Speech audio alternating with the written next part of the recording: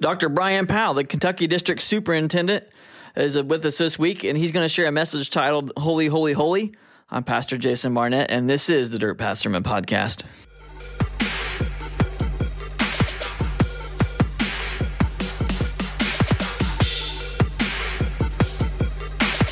As a babe in a manger, he's coming as the King of Kings and the Lord of Lords.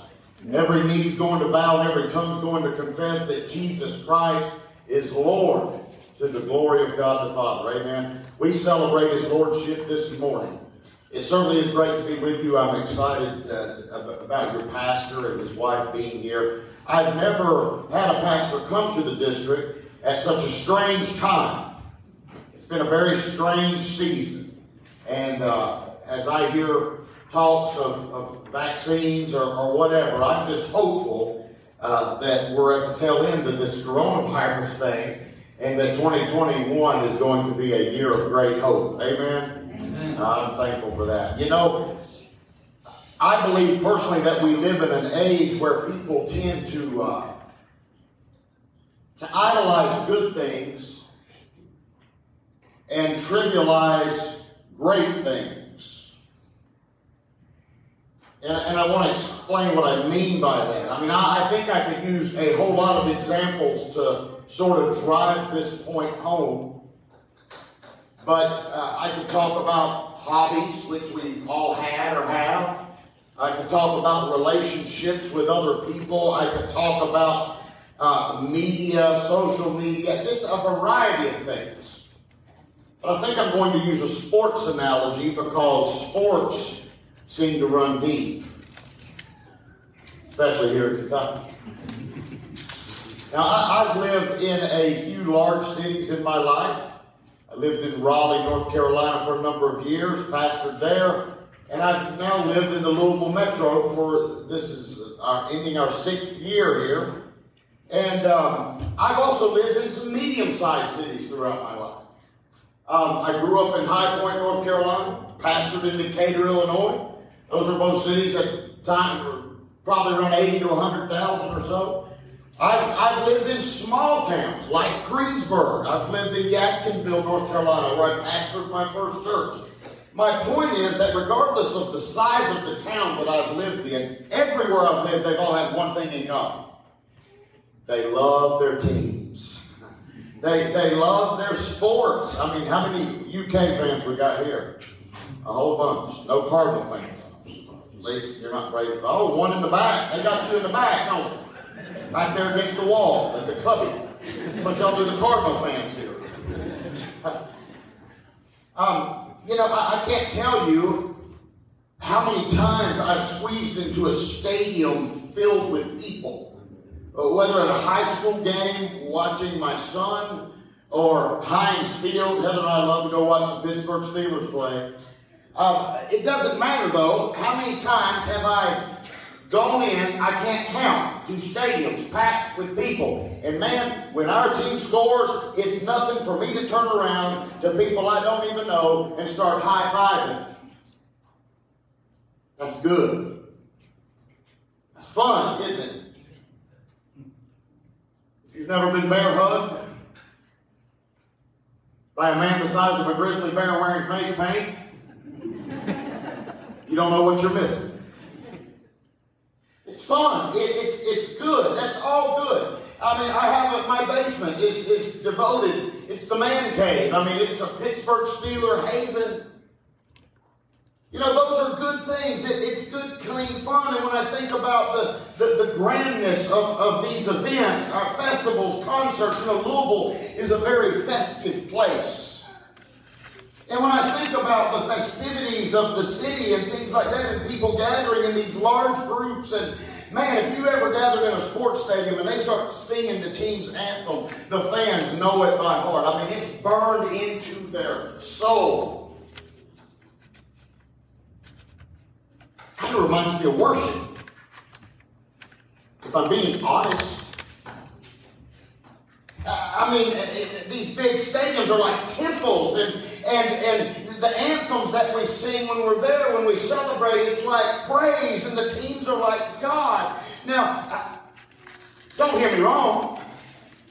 You can't leave here and say, oh, the preacher said sports are bad. That's not what I'm saying.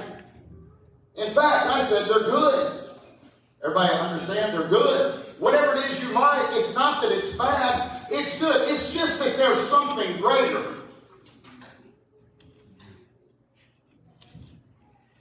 There's something greater that deserves our attention.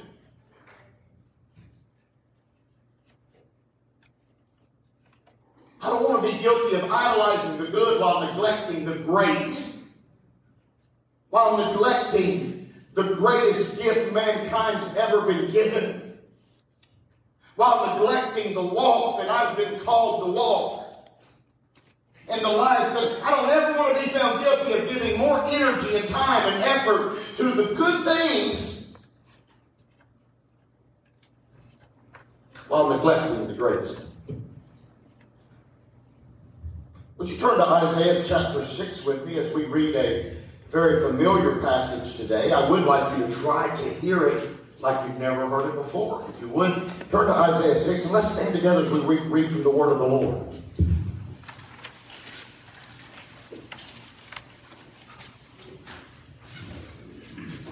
Isaiah 6, I believe this will also be on the screen starting in verse 1.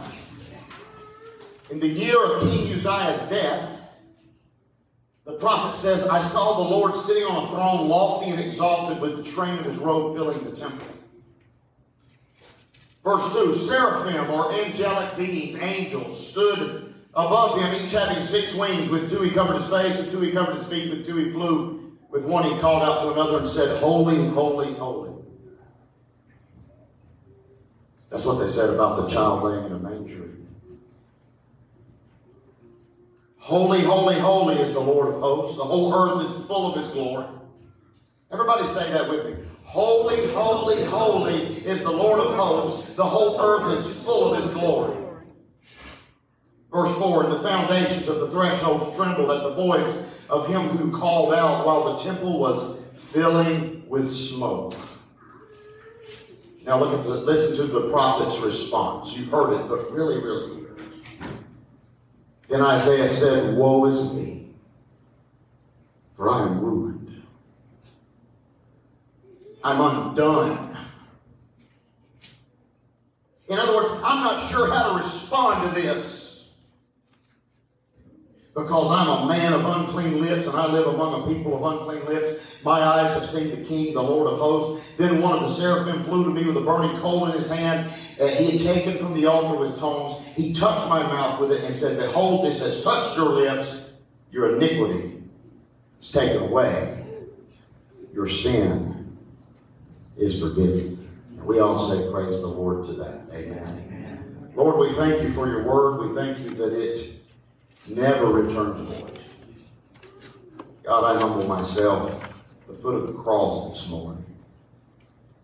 Lord, may Jesus be lifted up. Oh God, we've celebrated Jesus this morning already. And I thank you for the joy that truly does exist here in the midst of this congregation right now. Even in the midst of hard times, God, that's what faith is about, allowing you to touch our hearts in deep ways that change our perspectives. And so, God, I pray that you'd be with us this morning and you'd give us ears to hear and a heart to receive. In Christ's name, together we say,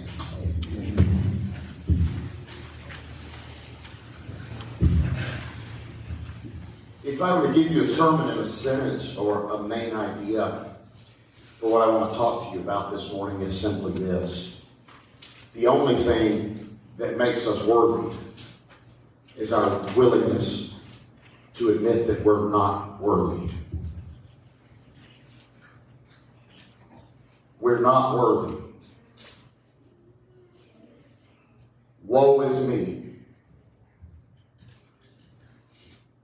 Nothing in me makes me intrinsically deserving of the grace of God. The grace of God that was manifest in a manger the grace of God that's manifest all over this sanctuary right now in these colors in this festive season and this festive time of year. I'm not deserving of God's grace.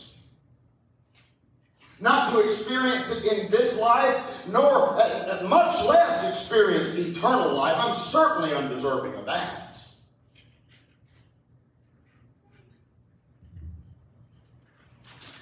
His ways are higher than my ways. His thoughts are beyond my ability to comprehend them. Right.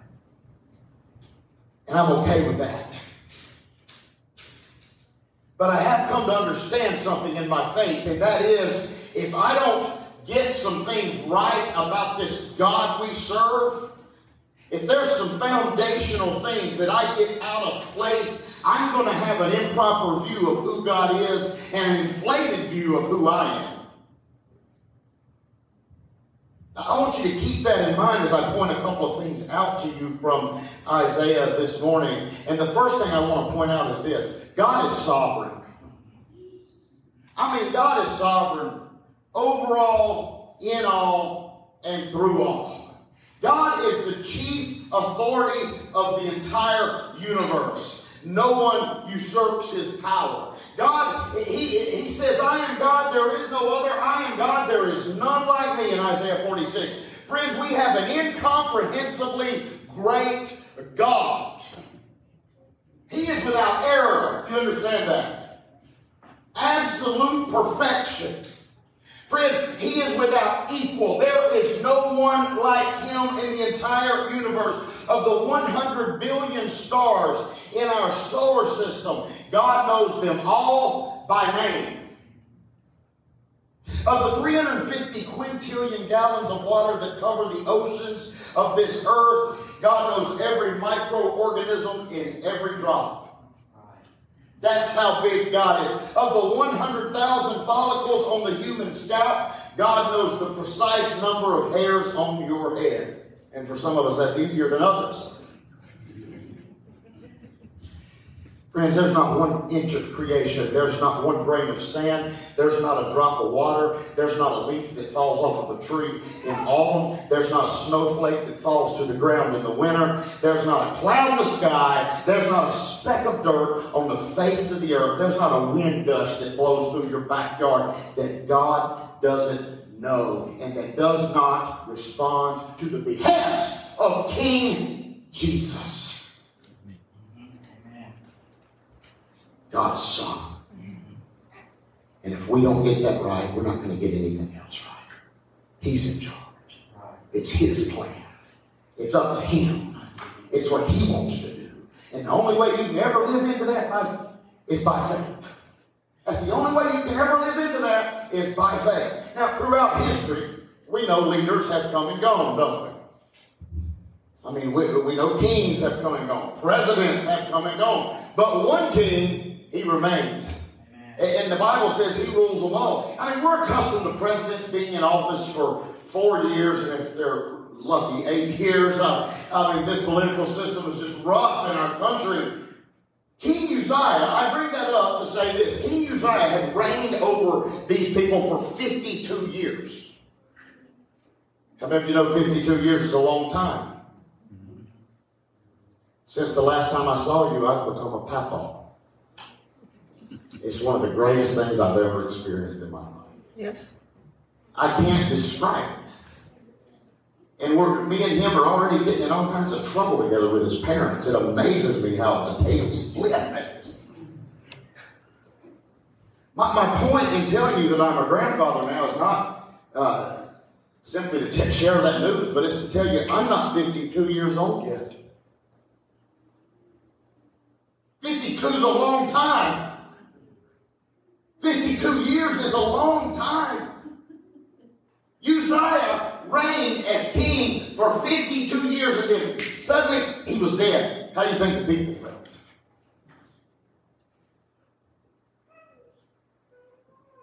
I'm sorry? Scared? Oh, he's been really good to us. We've prospered under him. Wonder who's going to be next.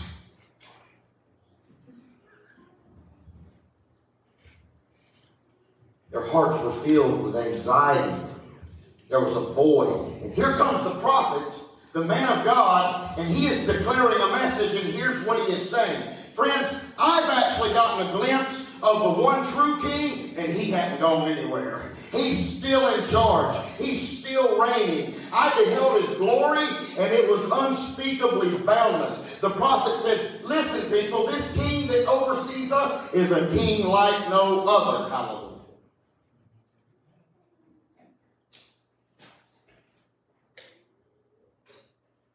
Around his throne, Isaiah described angelic beings that were literally ablaze. They're ablaze on fire with adoration for this king.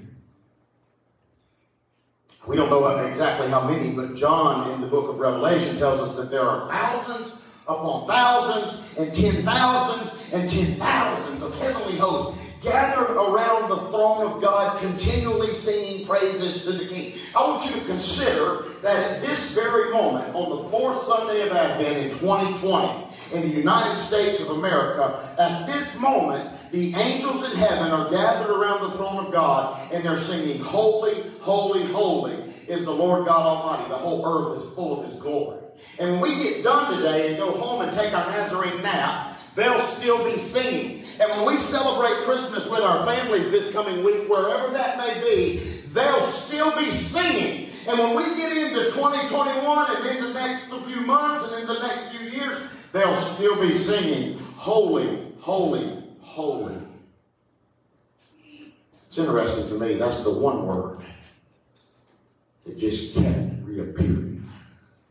That's the one word that kept coming off their lips. Holy. God is sovereign.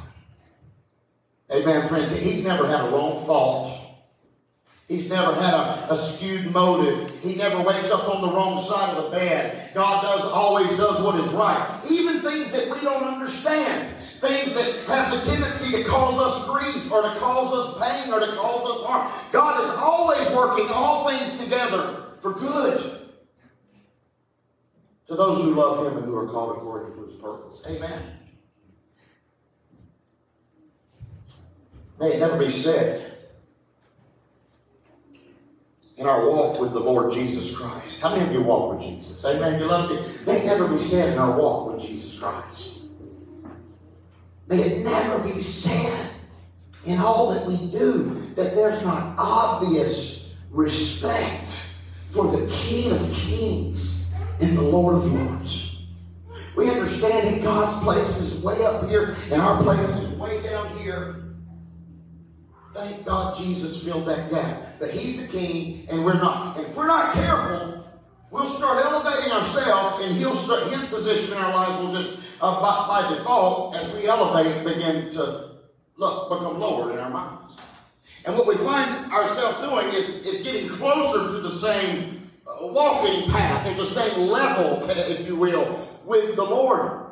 And without a remembrance and, and an understanding and an honor being paid to the sovereignty and the rulership and the kingship of God, it's easy for our thinking to get mixed So that's how I want to approach him first. As the king. Now he's more than that. But I want to approach him as the king. How do you respond to a king? How do you respond to such a king as this? In my opinion, humility I, I believe that's the Bible's advice. Humility is the only appropriate posture. Isaiah, a righteous man, he's the preacher, he's the prophet. Look at his response Woe is me, for I am ruined. He wasn't saying that he was off running from God or living far away from God. He was just saying all of his, he, he went on the right. My very best is like filthy rags in comparison to who he is. Same, same author. It wasn't that he was bad, it's just that he realized that the very best he could conjure up didn't even compare. That blows my mind.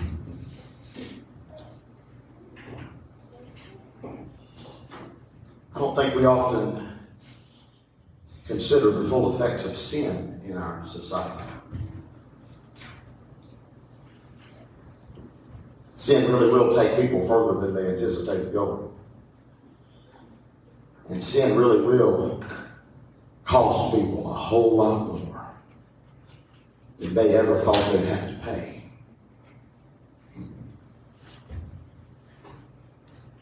Many stories throughout the Bible, I believe they're there, and that while the primary purpose of every story is glory to God, to bring glory to God, I believe they're all there to teach us valuable lessons. And one of the primary lessons, especially in the narratives of the Old Testament, is to point out the problem of sin. To point out what a deep problem, what a deep impact sin has had on the human race. I think of stories like Sodom and Gomorrah. And in light of our uh, politically correct culture, I mean, there are many today that just can't envision how God could actually take the lives, regardless of what they were doing, how He could rain down fire and brimstone. Yet that's what the Bible says happened. And I, I think the reason we don't get stuff like that, or, or, maybe you do, but because our society as a whole is becoming more and more detached from stuff like that, that way of thinking, is because they don't understand the depths of depravity and sin, the very thing God is trying to warn us about in the Old Testament and the New. Sin leads to death. God is trying to illustrate that. And He's given us life. Through His Son Jesus, who came in a manger, lived His life, and died on a cross. And I don't know about you, but humility is the only posture I can think of when it comes to a Savior like that. Friends, I, I think in order to truly understand the harsh reality of sin, is not necessarily to think about the sins being committed. You see, committed acts of sin is actually the fruit of a deeper reality. We act because we are. We act on notions that get implanted in our minds and in our hearts. So when we speak of sin and God's remedy for sin, we're not just speaking of God's remedy for the sins that you might have committed in your life or that you may commit in your life. No, we're speaking to the fact that you're a sinner.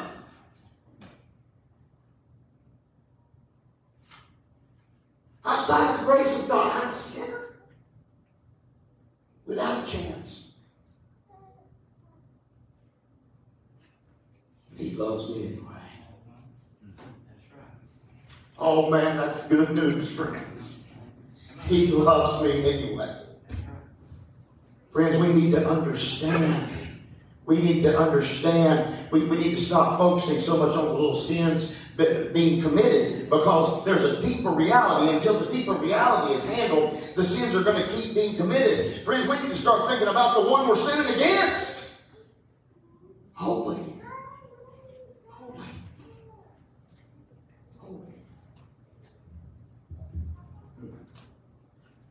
When we understand how,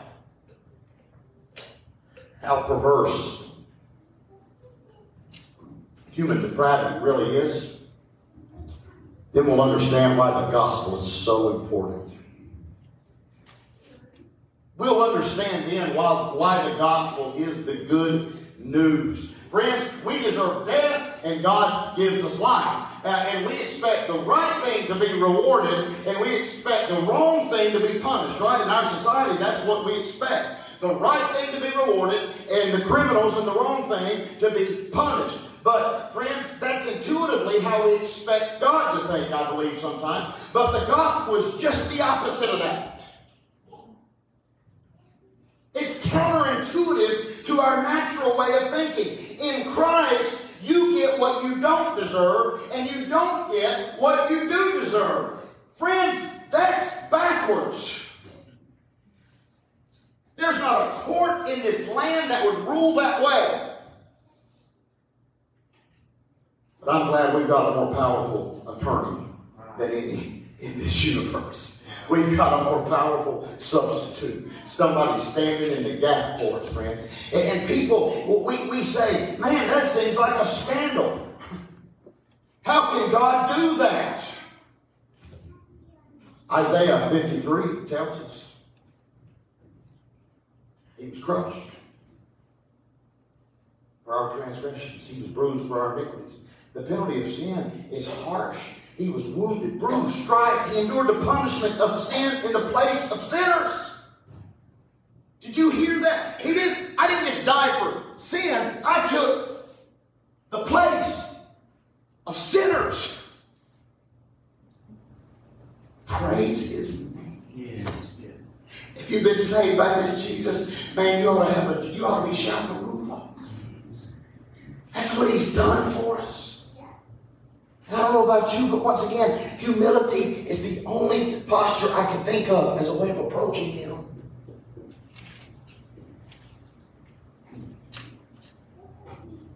How can God show wrath toward sinners and yet love sinners at the same time? That's a compelling question.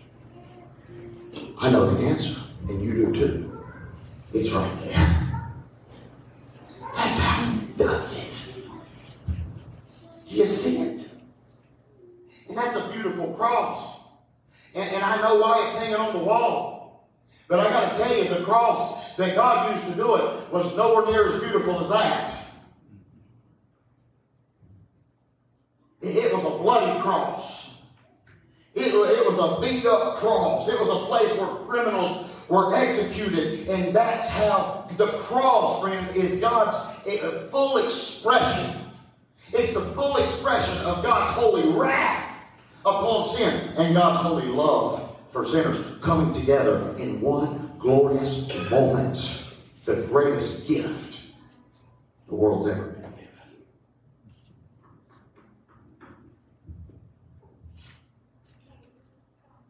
God's sovereign over all. Amen?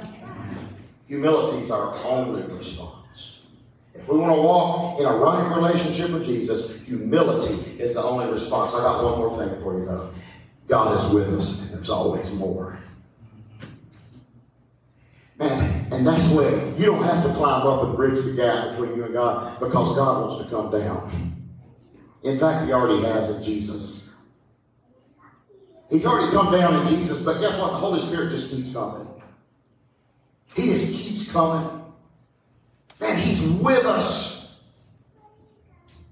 You know, it's interesting to me. Sometimes we gather for church services and we invite the Holy Spirit with the invocation, right? We, we invite the Holy Spirit to come. Right? Is your heart open to that? Come, Holy Spirit. Don't be scared of that. Some people are scared to death of that, but when the Holy Spirit comes, He starts messing up your hair. He messes up your composure. That's okay. That's biblical. It's okay. But, but when we start talking about that and, and, and with some, they, they begin to question that sort of uh, conversation or that sort of teaching, this idea that the Holy Spirit falls in a new way or moves. And so the question then becomes, well, why would we invite God to come if we in fact believe He's already here? I believe that's a fair question.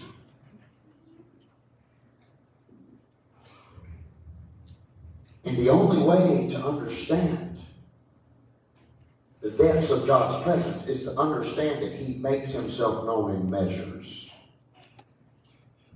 And we're living like this. When we understand who He is and who we are, guess what? Those visitation moments become often. And, and so, in other words, God is with us, but there's always more. There's always more of God to experience. The prophet Isaiah said this in, in uh, verse 1. I saw the Lord sitting on the throne, lofty and exalted, with the train of his robe filling the temple. Now, that word filling implies that his robe filled the temple, but then continued to fill the temple. He also talks about the smoke, the, the essence of God's holiness and presence filling the temple, but yet it continued to fill the temple. You see where I'm going with that? I want you to imagine God sitting on a throne up here, and He's lofty and exalted, and we're part of the angelic crowd, and we're gathered around, and the veil's been pulled back, and we're able to see, to get a glimpse. And while you're watching, you're seeing the essence that God's God's robe, uh, the smoke, the presence of who He is, filling up all the space, but yet it just keeps coming. It's like at some point you would think there would be an end to it or everything would be full. But it's not. He's eternal. He just keeps working. He just keeps moving. So whatever prayer you're praying, don't give up. Don't give up on that child. Don't give up on that job. Don't give up on that relationship. Don't give up on that work situation. Don't give up on that dream. Don't give up on that life. Don't give up. Whatever it is, God's still working. There's always more. When I speak about the measures of God's presence, I would, I would have, first thing I would have to say is that God is everywhere. He is omnipresent. I mean, I, I think about, he, he, is, he is what occupies in everything and holds all things together, Colossians 1. He's everywhere all the time. He's the glue that holds creation together. Amen. I mean, he, he even showed, he, everybody breathing is being shown grace by the presence of God. Because there wouldn't be breath if his grace wasn't sufficient. But beyond that, there are deeper measures. One of them is this God's presence is personal. God's presence is not just everywhere, His presence is also personal. God spoke to me in a profound way as I drove to Greensburg this morning in my car. I can't tell you how many times, I can't tell you, I can't recall how many times that I've traveled up and down the roads of this state where the Lord showed up in the car with me and overwhelmed me in such a way that I literally had to pull over. I couldn't keep driving. I love that fellowship with God. I got my, my favorite place in the world is, is a recliner in the room above my garage, just talking to Jesus. Presence is personal. God's presence, another way that it, uh, another way that it can be measured, another measure of God's presence, not just that it's common and everywhere, but and that it's personal, but also His presence is with the church, where two or three are gathered. God shows up when our hearts are unified as His people and we're living on mission, when we're abiding by the Great Commission which He's called us to live by. Friends, God does some amazing things. God's presence can also be invoked. We've talked about that already. God's presence also is mysterious. That's another level of God's presence. In other words, sometimes you ever been in a situation with people where God just sort of showed up and you really couldn't make sense of it? 1 Kings 8, when the Temple of Solomon was being dedicated, the priests did not perform their duties because they were completely astonished at the measure of God's presence.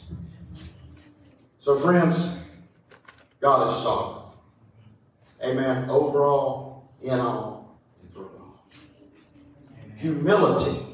As we go into 2021, I would invite you to practice humility before this sovereign king in ways you never. Deny yourself. Take up your cross. Follow me. If those, if you get those two things right, the result is always this. God's with you. And there's always more. And you know, even after all that,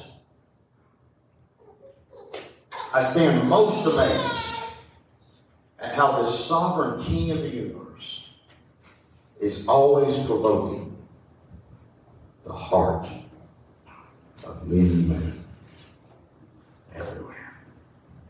He's a king like no other. He is a king that leaves his throne and dwells in the lowliest of places. Your house, my house, the back alleys, the sidewalks, the drug houses. He invades that space.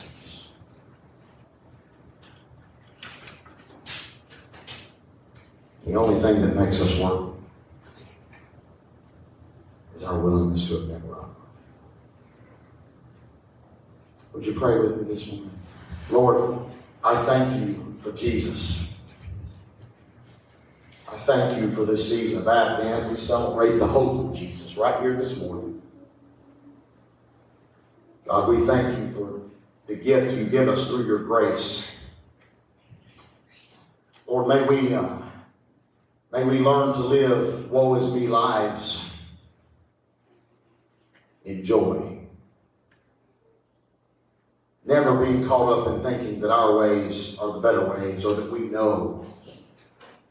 But God, may we always remember that you are the one that holds all things together. And God, as you work in ways that only you can in, these, in this service this morning, in this church, we anticipate 2021, and we thank you, God, that better days are on the horizon. We give you honor and glory, Lord, for who you are and what you do. In Christ's name. And together we say, Amen.